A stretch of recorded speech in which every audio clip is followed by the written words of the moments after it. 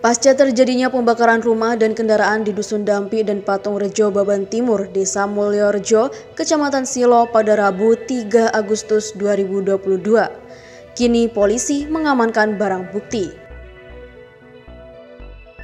Pengambilan barang bukti diawali dari rumah Salam, warga Dusun Patung Rejo Baban Timur, Desa Mulyorejo. Pembakaran terjadi dua kali di rumah Salam.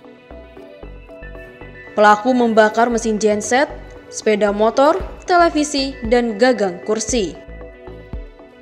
AKP Suhartanto Kapolsek Silo mengatakan barang yang dibakar akan diamankan sebagai barang bukti. Pasca terjadinya pengerusakan dan pembakaran barang bukti memang belum ada yang diamankan. Barang bukti yang diamankan diambil di beberapa titik yang lokasinya pun cukup jauh dengan medan tempuh yang cukup sulit. Barang bukti nantinya akan diamankan di Polsek Silo.